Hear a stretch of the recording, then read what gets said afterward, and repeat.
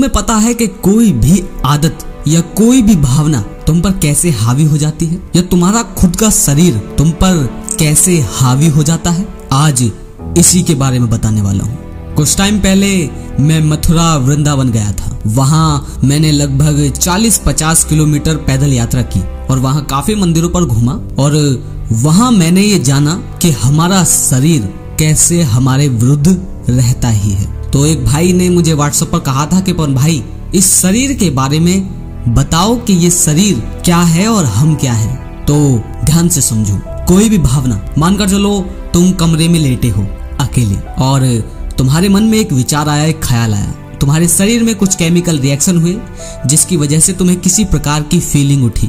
अब वो किसी भी प्रकार की हो सकती है फीलिंग वासना से संबंधित या किसी भी प्रकार की। वो फीलिंग तुम्हारे अंदर उठी और तुम्हें पौन की तरफ़, हस्तमिथुन की तरफ़ या किसी की ओर भेजने के लिए उसने तुम्हें उत्साहित किया। तो क्या तुम जानते हो, हम तभी उसकी तरफ़ चलते हैं। जब हम बेहोश होकर ये भूल जाते हैं कि वो हम नहीं हैं, वो हमसे अलग है। यानी ये भावनाएँ, ये फीलिंग्स और ये शरीर हम नहीं हैं। ये कैसे पता चल रहा है कि ये शरीर हम नहीं है? तुम यहाँ वीडियो तो देख रहे हो, पर वीडियो देखने के साथ साथ तुम अपने आप को भी देख रहे हो कि मैं कैसे पकड़कर फ़ोन चला रहा हूँ और कैसे मैं वीडियोस देख रहा हूँ।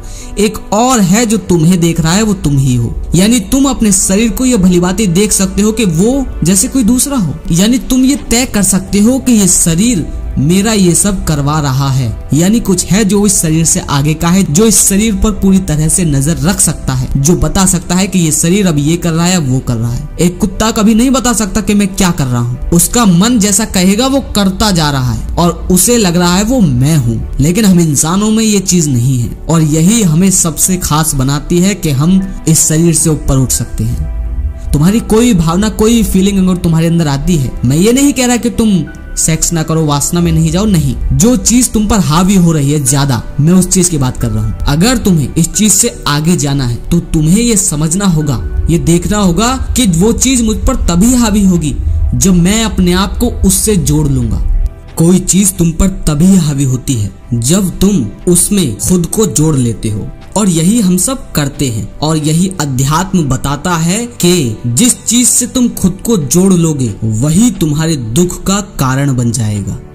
वो कुछ भी हो सकता है, संसार में कुछ भी। चाहे तुम्हें खुशी के टाइम ये लगे ना कि ऐसा नहीं होता, लेकिन एक समय के बाद तुम्हें पछतावा होने लगता है कि ये चीज़ मुझे बर्बाद कर रही है जो कभी पहले खुशी देती थी। क्योंकि खुशी में हम अपने आप को उससे जोड़ लेते हैं और फिर वो खुशी दुख में बदल जाती है। क्योंकि जब हम किसी चीज़ को खुद से जोड़ लेते हैं तो वो लगती है कि वो हम ही तो हैं। और इसी में हम पूरा जीवन बिता रहे और बिता चुके हैं बहुत लोग। जब कोई भी भावना उठती है, तुम्हारे अंदर फीलिंग किसी भी तरह की तो तुम ये नहीं देख पाते कि वो भावना इस शरीर की है। और मैं इस शरीर को देखने वाला दृष्टा हूँ। मैं इस शरीर को देख सकता हूँ। और अगर मैं इसे देख पा रहा हूँ तो इसका मतलब ये शरीर मैं नहीं हूँ। क्योंकि अगर इस शरीर को मैं बना लूँगा तो फिर तो मैं सिर्फ़ दो तीन ही काम करूँगा। पहला, कमाना, बच्चे पैदा करना और बस बात खत्म। और अपने शरीर को चलाने के लिए जिसको चीर फाड़ करना हो, खाओ, पियो, जो कुछ करना हो, सो करो, जी भर के करो। फिर तो बस यही जीवन जियोगे। लेकिन इंसान ऐसा नहीं करता और न ही तुम्हें करना है ऐसा। अगर ऐसा करोगे तो हम लोग जानवर से ऊपर नहीं है और फिर कभी अपनी वृत्तियों से ऊपर नहीं उठ पाओगे। तो उठोगे कैसे?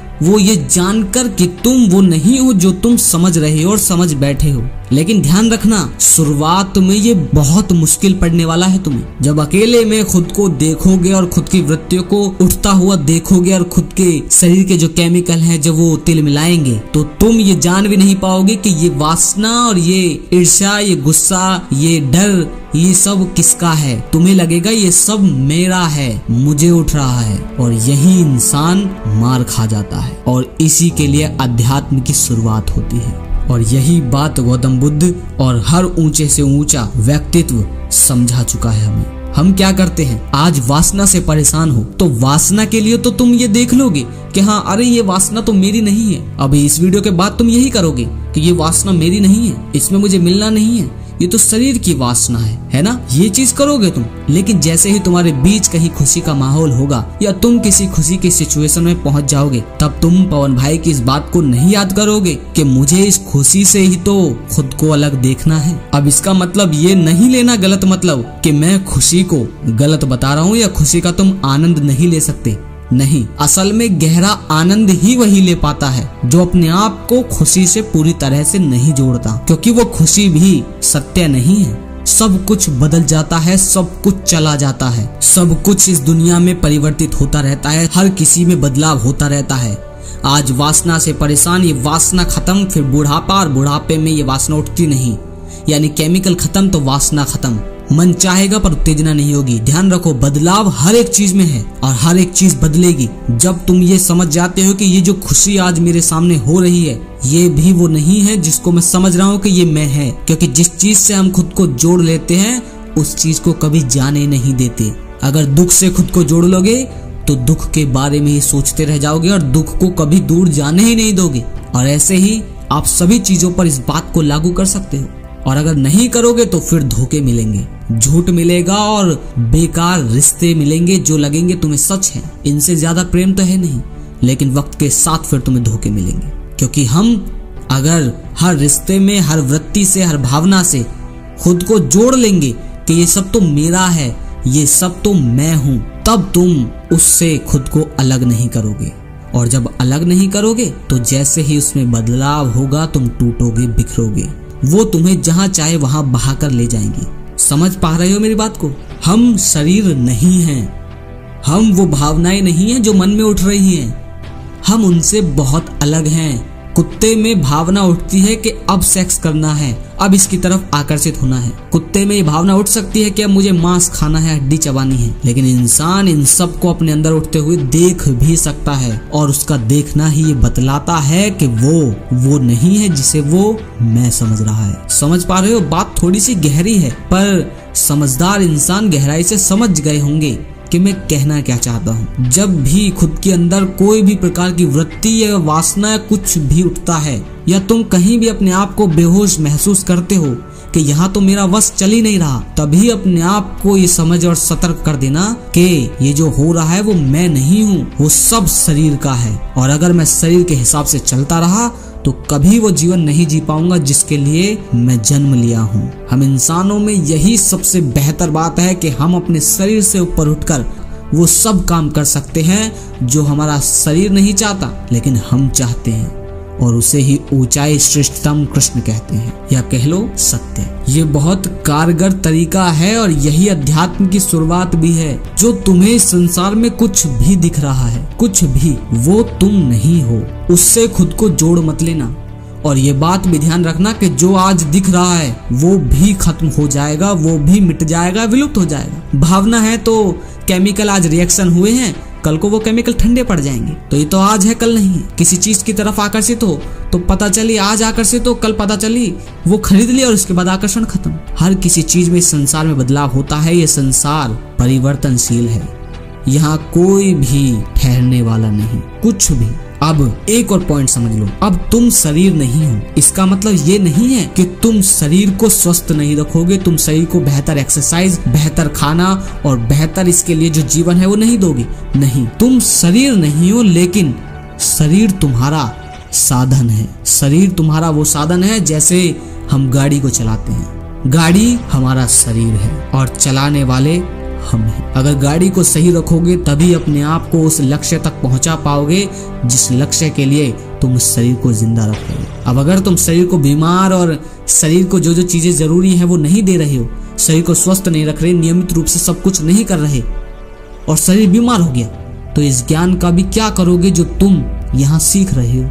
या कहीं किसी किताब और कहीं किसी ऊँचे व्यक्तित्व से सीख रहे हो? स्वामी विवेकानंद जी ने सबसे ज़्यादा ध्यान पुरुषों का इसी चीज़ पर लगाया कि अपने आप को मज़बूत बनाओ। वो मजबूती उस शरीर की बात कर रहे थे। इस चीज़ पर ध्यान दिया।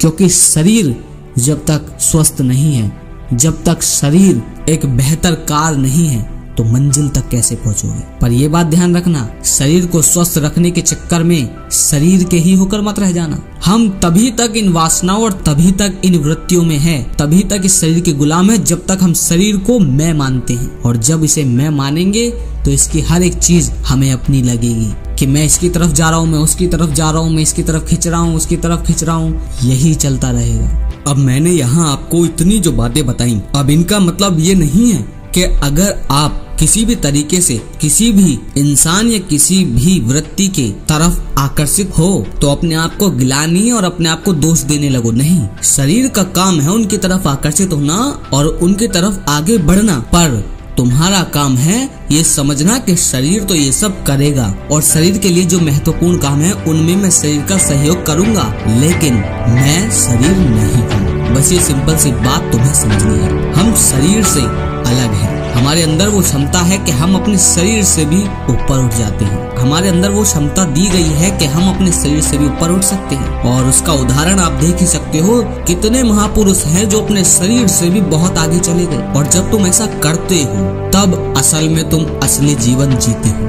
तब बेहतर साथी चुनते हो, बेहतर सेक्स भी करते हो, बेहतर जीवन भी जीते हो, बेहतर खुशियों को भी पाते हो। लेकिन उनके होते नहीं। फिर तुम दृष्टा बन जाते हो। और इसको बहुत लोगों ने कहा है ओशो आचार्य प्रशांत, ना जाने कितने लोगों ने, गौतम बुद्ध ने भी यही बात कही है। और वाकई में दृष्टा ही ज़िंदगी का आनंद लेता है। अगर वो समझ ले कि मैं दृष्टा हूँ तो।